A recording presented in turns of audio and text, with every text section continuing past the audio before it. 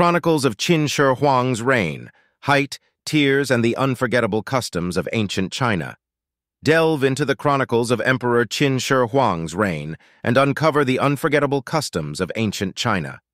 From the curious laws surrounding height to the strict regulations on emotional expression, each facet offers a glimpse into the complexities of life in this era. Explore the enduring traditions of the prenuptial crying rituals, a poignant reminder of the deep-rooted values that defined ancient Chinese culture.